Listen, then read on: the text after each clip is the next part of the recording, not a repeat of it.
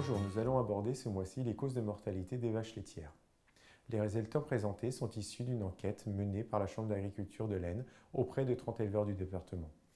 L'objectif technique couramment admis pour la mortalité des vaches laitières adultes se situe entre 3 et 5 Pour autant, ce taux peut rapidement dépasser 10 Sur notre échantillon, il était de 7% Les causes de mortalité chez la vache laitière sont multifactorielles. Trois paramètres apparaissent déterminants la gestion de l'alimentation, les conditions d'élevage et la pression sanitaire auquel est exposé le cheptel.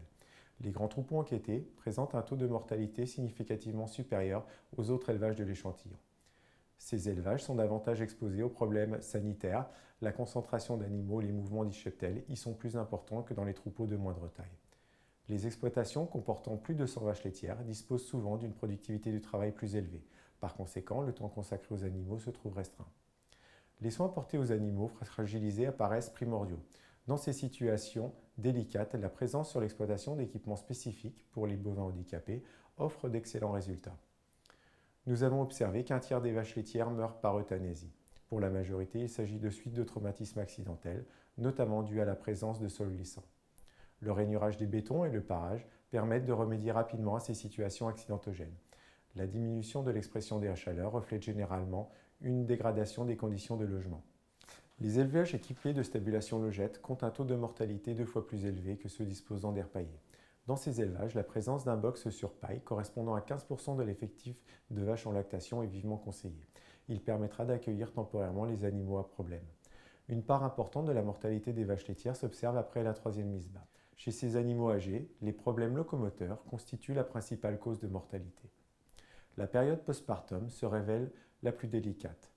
15% des pertes de vaches laitières ont lieu au cours des 15 premiers jours suivant le vélage. La préparation des primipares et des multipares au vélage, ainsi que l'intégration des fraîches vélées dans le troupeau constituent deux points de vigilance. Le longement influencera directement les risques de mamite et de glissade. Une alimentation adaptée permettra quant à elle de s'affranchir de maladies métaboliques telles que la fièvre de lait. De façon générale, l'équilibre alimentaire joue un rôle indéniable au niveau de la santé du troupeau.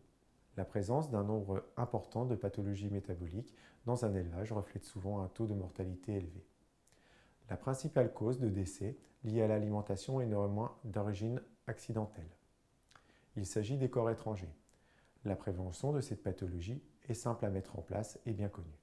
Elle passe par l'admission systématique d'un aimant au génisse l'entretien des clôtures et du matériel de distribution et l'absence de matériel ferreux tel que les pneus au niveau des silos d'ensilage sont également des éléments déterminants.